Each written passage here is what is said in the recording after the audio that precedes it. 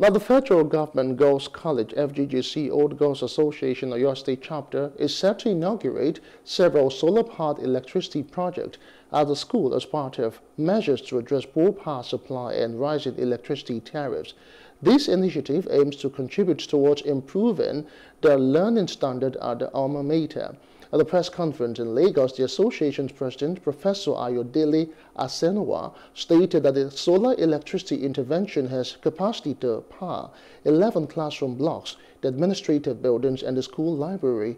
Atsenuwa explained that these projects are part of the activities planned for the school's 50th anniversary celebrations, themed Celebrating Our Legacy of Excellence. Now, the upcoming Special Assembly will hold sometime this month and to mark the commissioning of the 100 or the 44 million naira legacy project.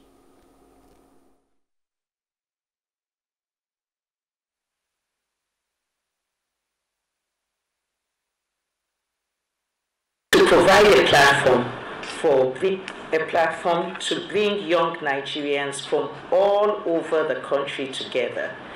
It was thought that this would help young boys and girls learn about one another's culture, cultivate friendships that will help the nascent nation to overcome the deep divides that arose out of prejudice, largely fostered by ignorance. It's not been easy, you know, bearing in mind the economy, the economic situation of the country. Um, we still have over 32 million to grow in order to um, accomplish all the other projects that we have in line. But right now, we targeted um, 32.5 million just for immediate intervention, and um, we were. I'm so glad and happy to say that we got that.